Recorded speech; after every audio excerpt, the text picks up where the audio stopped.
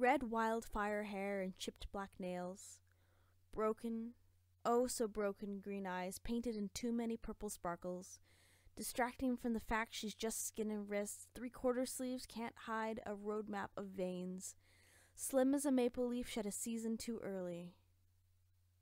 I met her on a Tuesday between trousers and turtlenecks. Our friendship grew from counting dimes and hanging shorts. We were barely 16. Between dust shuffling weekends and zodiac giggling nights, she stole time like it was survival and made a home on aisle 19, pocketing pinto bean promises like she was eating Mexican forever, snatching a red winter coat neither of us could afford for her half winter life. When she was caught, there was no apology, no penalty, no remedy. I did what I could, but it was never enough. Starvation was her currency, measured in tin lids and cracker box tops. What is hunger, anyways? I could tell you about stomach acid and enzymes, biochemicals and proteins, nerve impulses and the duodenum and the ileum and the appendix. I could give you fancy words like masticate and borborygmus.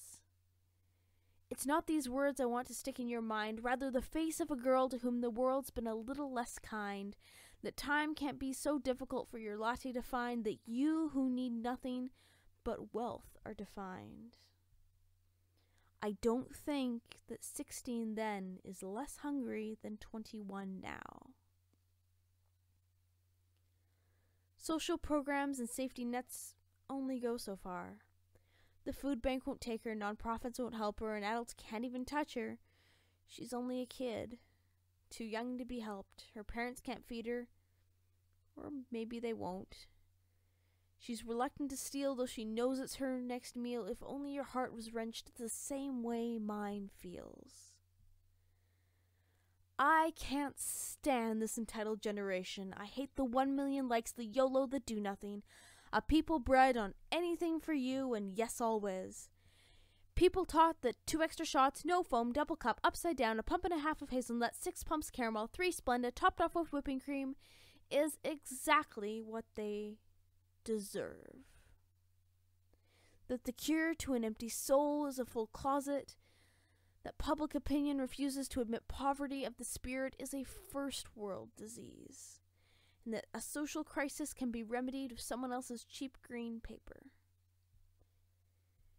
It's not your money I want, not even your pity, but a mind made ready that's sharper and steady to take notice of shadows with no food and less love, and do a practical thing right here and now and tomorrow, and every day after that.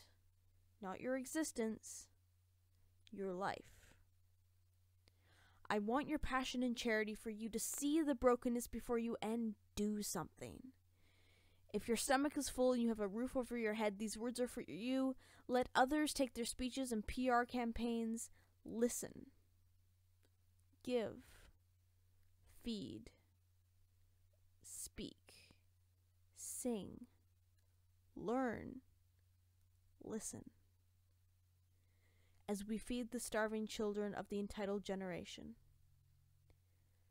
Five years are only a separation in time she grew. She moved on. She made it. The boy who asks me for 16 packs of oatmeal every Wednesday to feed his sisters this weekend, he's still working on it. So when you tell me your coffee needs a little bit more foam, I think of that redhead girl and her pinto beans.